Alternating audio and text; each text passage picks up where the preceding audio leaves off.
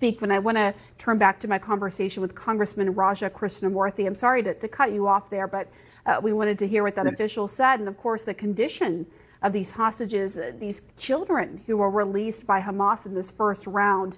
Um, what is your reaction to all of this? Well, I'm I'm I'm thankful. I'm grateful that they are uh, among this first group of hostages. Um, I'm concerned about their well-being. Um, as you said, they're emotionally scarred uh, from the initial attack on October 7th and everything that's happened ever since. And I'm sure that the authorities there are going to do everything they can to kind of take care of their physical and their mental uh, state right now. And, and I'm hopeful that more can be released ASAP.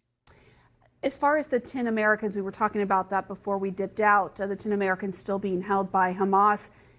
Have you seen evidence that all 10 Americans are still alive? No. And I think that's one of the, the big question marks and concerns, which is, you know, we want to have proof of life uh, with regard to the condition of the hostages. We need to know about how they're doing. And I, I've only read the published reports about uh, members of the International Red Cross who are supposed to visit with the hostages and provide them with medicine and other care that they need. But we don't know their condition right now. Yeah, and that's that is key. This hostage release comes amid this four-day pause in fighting between Israel and Hamas. Where do you see this war going after the prisoners have been released and the four days are up? Well, look, Pamela, this is a hopeful moment in a very, very, very dark period where there's been a halt in fighting. And based on published reports, uh, it appears that uh, this halt in fighting could be extended with the release of more hostages. So that's, I think, where a lot of people are looking for um, additional guidance. Like Hamas needs to release all of these hostages ASAP, like now. And so if they do what is the humane and civil civil thing to do, which is to release these hostages, we could see this uh, cease, temporary ceasefire extend. And I think that's what a lot of people are hoping for right now. But do you see that as just wishful thinking that they would just release all the hostages given the fact that it's their biggest bargaining chip? Especially, you know, when you think about the the men, the women of fighting age who could be part of IDF, that those that are still within captivity held by Hamas, like do you actually see Hamas releasing them?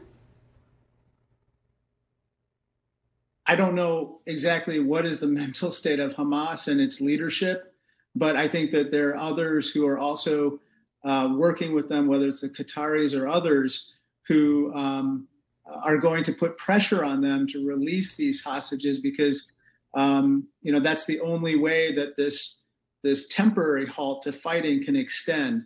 It's clear that the fighting is having a negative impact on Hamas. The bigger problem is, of course, it's having a much bigger also impact on civilians. And so uh, Hamas needs to decide, you know, how much pain are they going to endure, uh, you know, and and how quickly can they uh, release these hostages so that the truce or this halt in fighting can extend beyond just these four days.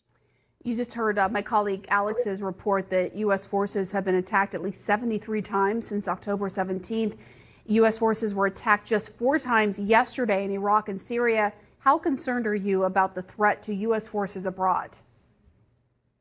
I am. I'm very concerned, and this is something that unfortunately Iranian-backed proxies um, are kind of. Uh, they they have our forces in their crosshairs uh, throughout the region, and so they should know that uh, the, the administration, along with Congress, is going to uh, back any response necessary to protect our troops.